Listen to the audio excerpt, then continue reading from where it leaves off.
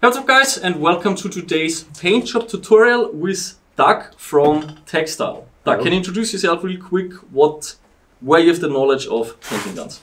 Well, originally I learned painting guns in the army. I have some military experience with the German military forces. I also spent some time in the German embassies and around the world. And I got into contact with a lot of guns and learned to paint them. Yes, and the fast and military way because there's very different ways of doing it. There is, you know, putting a lot of detail and a lot of love into a paint job. But when you're the military, and that's also the way that we learned at the Austrian military, man, you just paint a gun like fast. fast, yes. Yeah. But also to have a look at the result, Doug can show his personal SSR 15. That's what you can expect of today's result. Now I learned to paint guns in a different way, but Doug is going to show us today how he is doing it. He will paint the SSG 10 A1. I'm going to paint the SSX 303 and let's see if I can get the same result Let's from see. Doug when I follow his steps. Okay, so originally you don't need any primer, you don't need any sanding.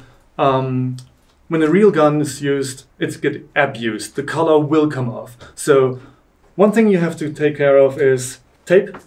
You need to tape the openings of the gun. You need to tape the openings of the scope, any mag welds or any buttons that you really want to use. And in the real military, you also sometimes have to take care of putting tape over serial numbers because it's important to keep track of where your gun is actually. We don't need that. If you want to show off your Novritsch name on your gun, you can do that.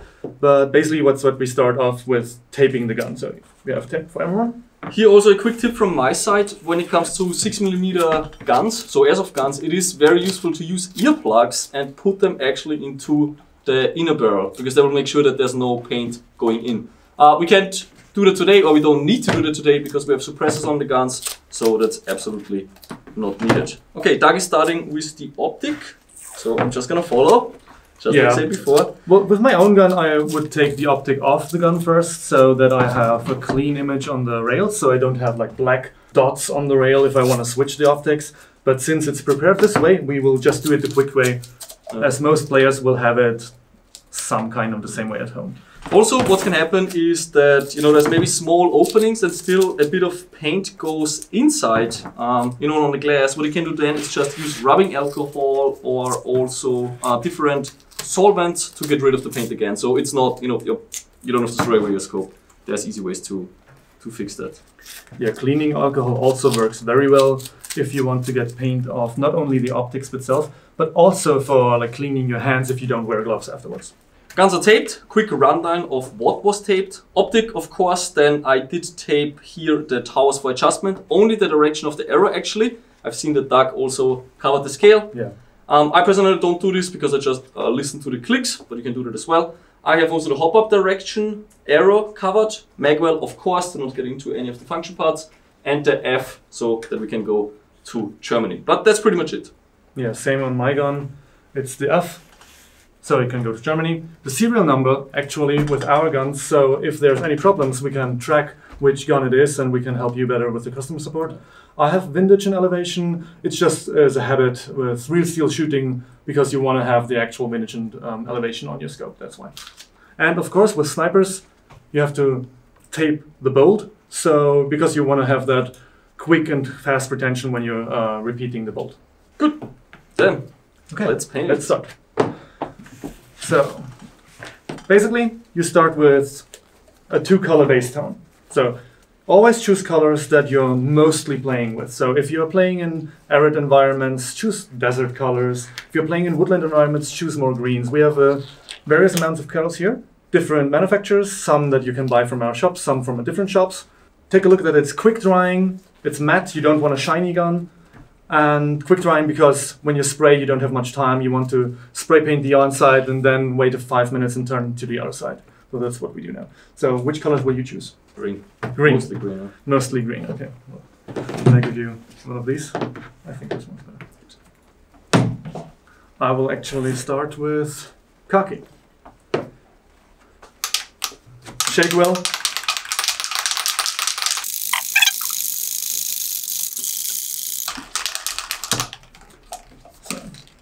Also, one difference for real steel guns, um, you want to actually take the trigger because if there gets paint in with the real steel gun, it can cause jamming and will make it difficult to shoot. Okay, let's start. I always do it with diagonal stripes, about 10 centimeters wide, let's say a hand wide or something. Because if you're making it too narrow, it gets too cluttered, and you want to have stark contrast. Good environmental camouflage works with breaking up the form of the rifle, which we will be achieving in the end.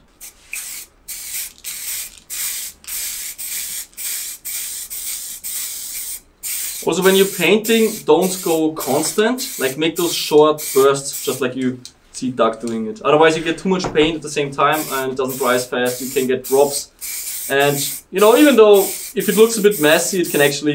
I think it's it's also a nice look. But to keep it clean, just do those short bursts.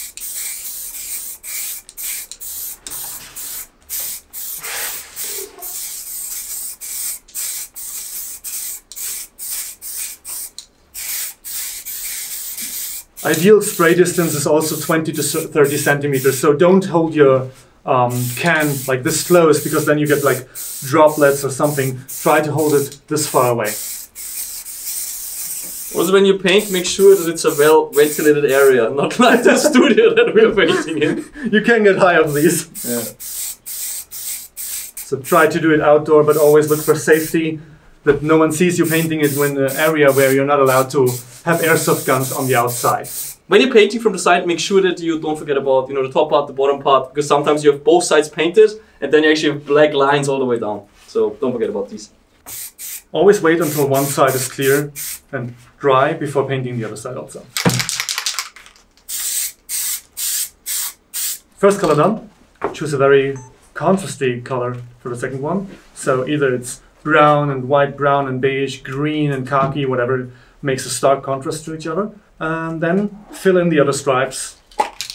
And after that is done, you can accent-wise um, each of the colors.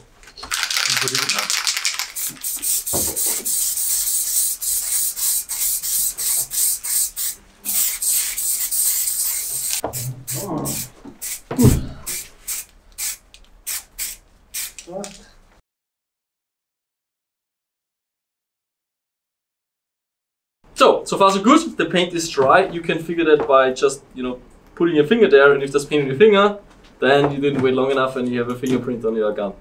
But um, ours are dry, or dry enough. Dryish. But let's just continue and turn them around. Yeah. Turn them on the other side. So it looks like, not the other side. And it wasn't dry enough, as you can see. but let's just continue.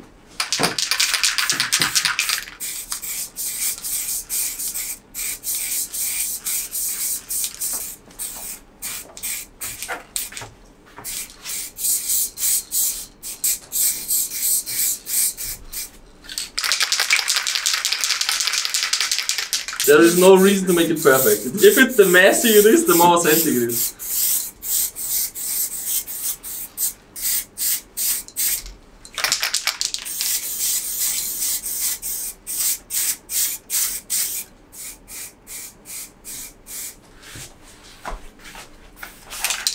Fuck!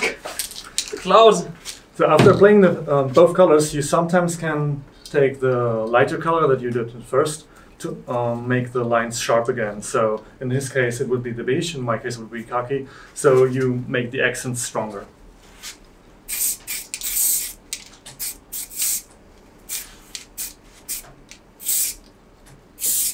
Then again comes drying. Don't spend the time in the paint cloud. Yeah, no. Just wait, wait where's fresh air, like I'm gonna do it now. Bye.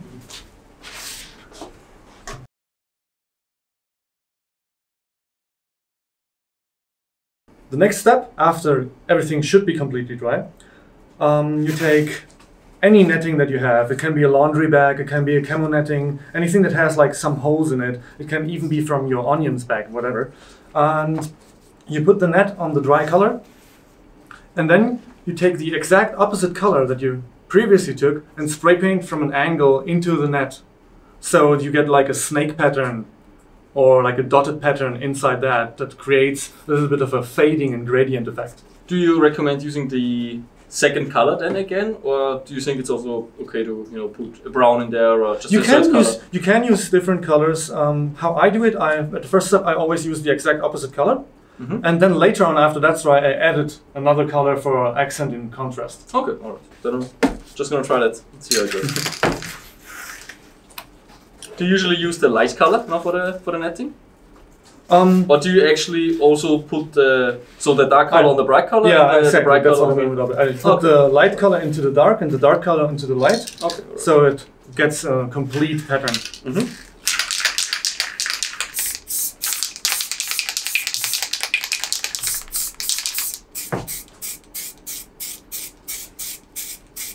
And how I use it, I put it like this, so you don't accidentally color the other bits. Mhm. Mm.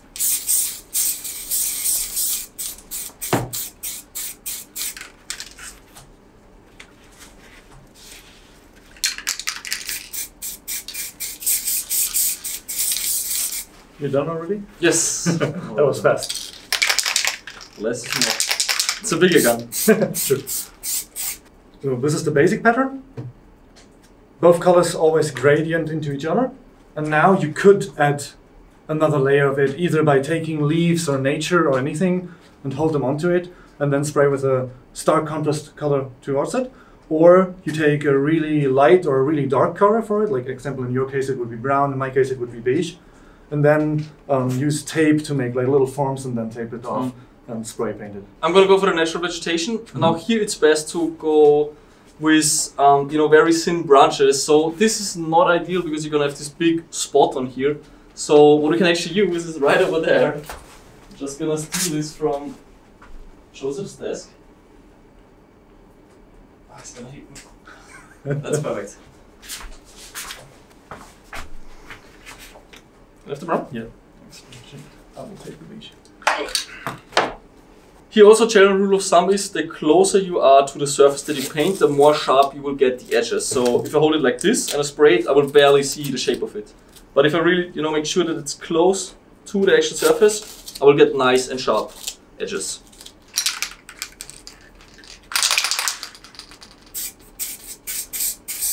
Yeah, it wasn't dry. yeah. That's the tricky part. You have to be patient, otherwise you you can screw it up. Yeah, Yeah. I see that.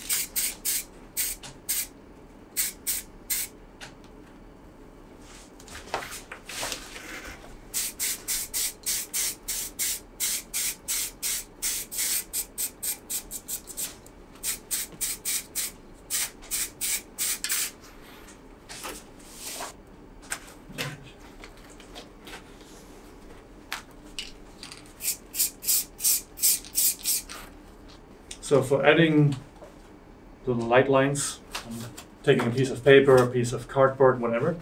So you put when you put on the mesh, you can have a clear line. So you don't have to tape everything up. Then you have the, these clear lines in there.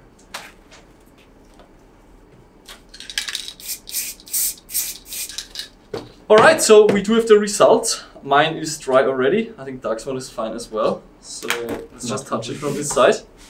Um, yeah, this is what we got. I do really like Doug's technique. It is quite different to what I've been doing, but I gotta say I like yours more actually.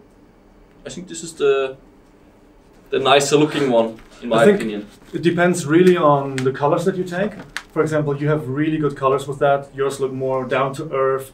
Like yours will be really good in camouflaging. Mine's are a bit too bright. I choose the wrong colors um, just to show the strength of the effect on how much you can make a contrast with the different colors. Mm. Hope you guys enjoyed this video. If you wanna do your own paint job, uh, we do have lots of colors in our shop, so you know feel free. Also, don't be afraid painting your gun. I know a lot of people go like, ah, what if I mess it up? Don't worry about it. Just paint it. If you screw up, which you won't, because it's actually quite easy, just do it again. Just paint over the old layer, and you're all good to go. Also, this you know just gives you an option of really customizing your gun, making it your own, making it unique, and it is actually a lot of fun to do. I quite enjoyed it because the last paint job I did was man, it's quite a some time ago. It's like five years or something. But also in addition, like camouflaging the gun is also just an adding to when you say you have a ghillie on your gun. Because like let's say you have a camo cover for the gun, which we have for the 303. The black handguard or anything will always stick out and there's no black in nature or not, not that often. So even when you paint the gun with the camo cover it will be better camouflage than before. And we have that for the 303 and also for the SSG 10 Alright, hope you guys enjoyed and we see you on the next tutorial.